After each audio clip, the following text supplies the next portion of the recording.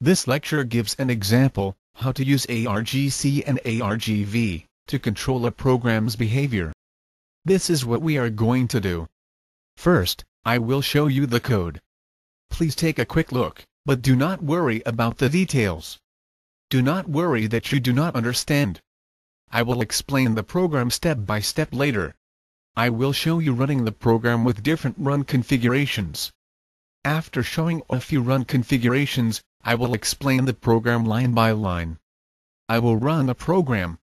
In the first run configuration, I give the program no argument.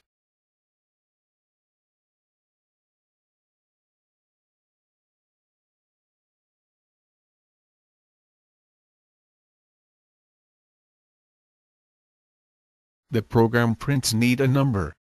Then, I give 16 as the argument.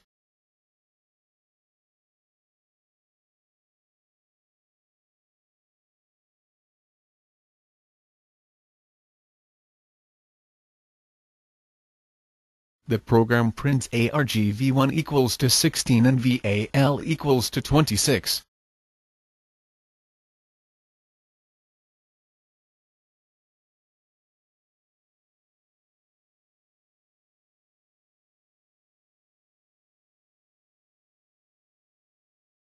The next example uses 365 as the argument.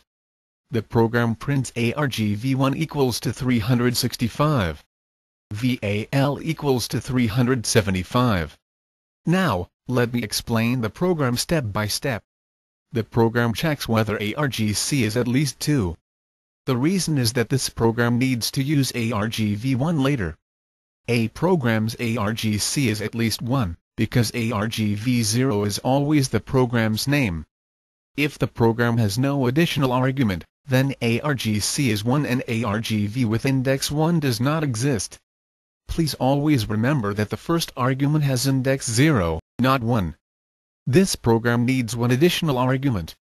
In other words, it needs argv1. If no argument is given, this program cannot do its job. Thus, the program prints a message and then returns exit failure. This is the first example using exit failure. By returning exit failure, this program indicates that it is unable to do its job. In a C program, the main function is the starting point. If this function returns, the program stops. If argc is at least 2, the program continues. strtol is a function that converts a string to a long integer. strtol needs three arguments. The first is a string. The second is an address to store the location where conversion stops. In this example, I give NULL, to indicate that I do not care about the location. The third argument is the base. In this example, I use 10 to convert the string to a decimal number. It is necessary to convert argv with index 1 to an integer, because argv1 is a string, not an integer. The next line adds 10 to val. The next two lines print the string argv1 and the integer val.